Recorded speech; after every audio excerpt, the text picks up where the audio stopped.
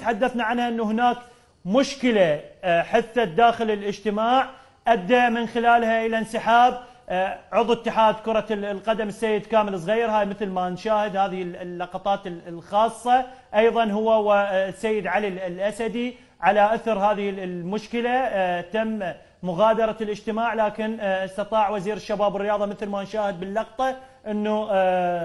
إقناعهم والعودة مجددا إلى طاولة الحوار داخل الغرف اللي إن شاء الله ننتظر من عندها آه، أمور آه، تهم الكرة العراقية لرسم خارطة آه، الرياضة العراقية خلال الأيام القادمة.